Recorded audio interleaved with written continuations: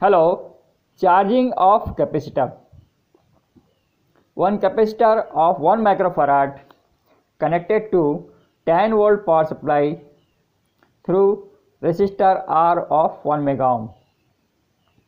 Time constant T equal to RC equal to 1 second of the circuit.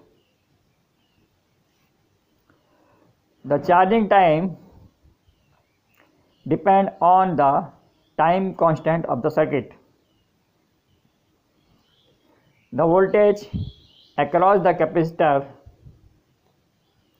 after 1 second time equal to 6.32 volt DC and after 5 time constant I when time t equal to 5 second the capacitor voltage Vc at 5 second equal to 9.93 volt DC. Okay, thank you.